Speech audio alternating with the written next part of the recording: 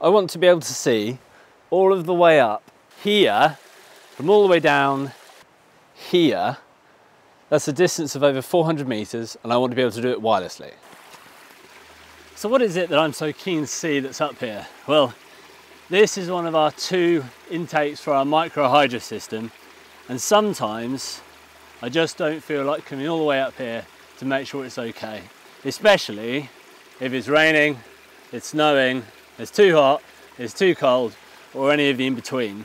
Now, you know I'm just joking. I love it up here really. But let's go down to the workshop and see what solution we've come up with to solve this problem. So this is a remote camera I've designed using parts you can buy off the internet yourself, pre-made libraries that you're able to install that have already been written. And let's have a look at why I chose this. This is a Firebeetle ESP32 board S3.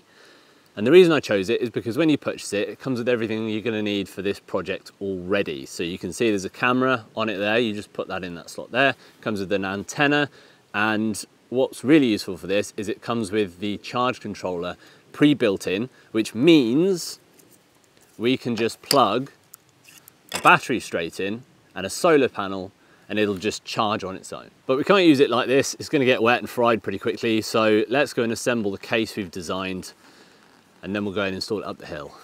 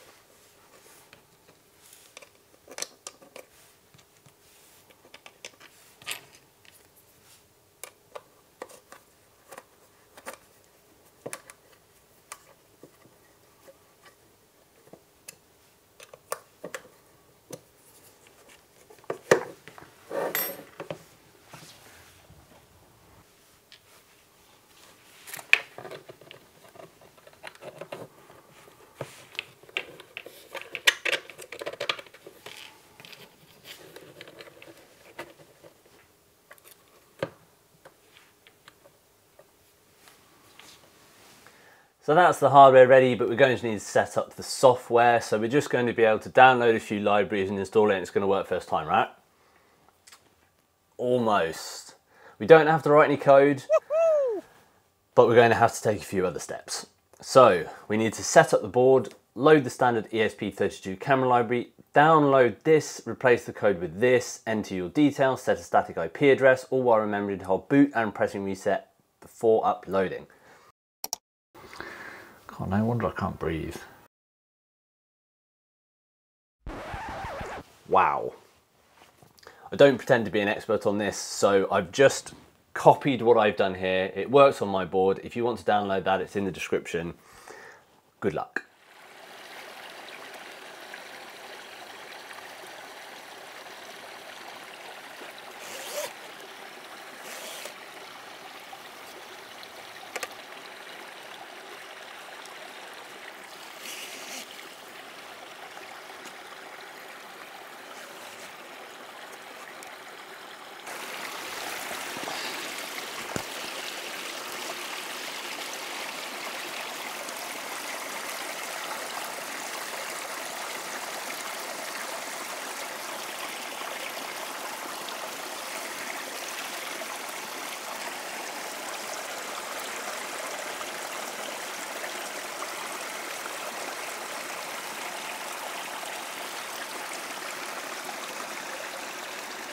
So those of you who are into this kind of thing will have already spotted the problem I'm about to come across.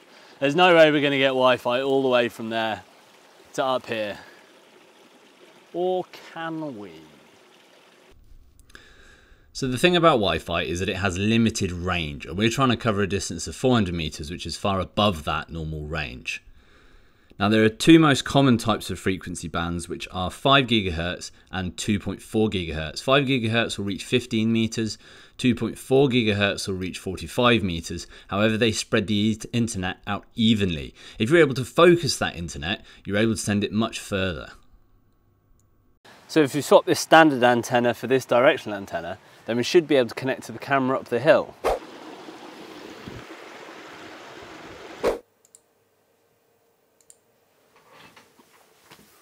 Nice. So this is a bit of a proof of concept for me. We've got a couple of projects that I'd like to be able to view remotely, such as the wind turbine, and I'm also working on the design of a um, self-starting siphon at the minute. So I wanted to do this project to just prove the concept worked, and it does, but it's a bit intermittent, and I think that's due to the distance that we're trying to do this over. So a couple of points for those of you who'd like to try and attempt this at home.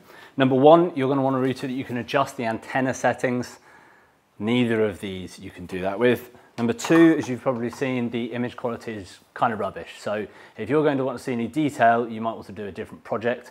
And finally, number three, we managed to do it without the correct router because we had a clear, unobstructed line of sight. If you have any obstructions that you're going to be working through, your mileage may vary. And by the way, this cost me 30 quid. It's not bad, is it? If you like this project, you'd like to come see more projects like this, come join us. Been nice to have you here. We'll see you in the next one.